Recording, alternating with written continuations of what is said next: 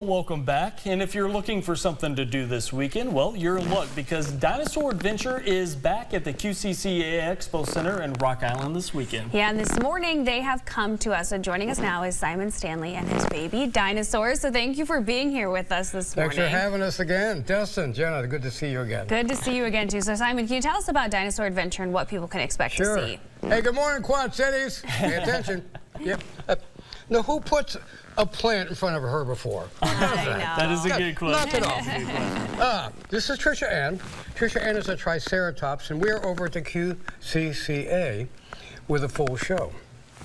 We invite you and everybody else here in the Quad City, especially your kids, come on down and see us.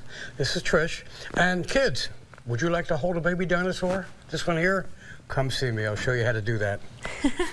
now, you said this is Trish. Uh, does she bite yeah. or is she pretty friendly? No, she's or? pretty friendly. Uh, okay, she's uh, she's less than six months. Okay. Uh, and she is a Triceratops. We call her Trish because she is a Triceratops from the southern portion of the Hunan province in China. Oh, wow. Trish, Hunan. She get a lot of trouble? She gets in a lot of trouble, yeah. Uh, we've, we've got a couple of them on the tour, and they are just, just a handful. Yes, you are. Yes, you are. yeah, will you leave the plant alone? well, don't eat our plants. Yeah, please. Yeah. We got to keep that looking good, right? So uh, talk to us a little bit about, you know, obviously Dinosaur Adventure, you get to come mm -hmm. see a bunch of different dinos. Why is it so important for young families and kids to learn about dinos in the prehistoric times? Well, there's a couple of uh, answers for that, but I'll, I'll focus on one. Um, nowadays, moms and dads looking for value and things to take their kids to mm -hmm. uh, th that they can learn things from, have fun.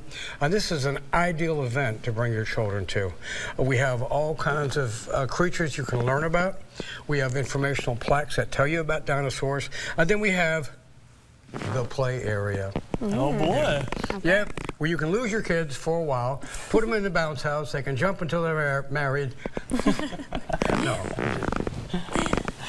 Now, what are some of the things people need to know as they head out to go to Dinosaur Adventure, like ticket prices or anything new about this year? Well, you can go online, dinosauradventure.com, and pick up all your ticket prices. Mm -hmm. You can actually buy tickets online okay. and show up at the gate, or you can buy them at the gate, and then you'll see me. okay. there you go. Good to know. All right. Well, anything else that you think is super important that everybody needs to know? Yeah. So, did you ever get married? No, I'm scared. to this guy, actually. Yeah, I am. yeah. Did you hear that?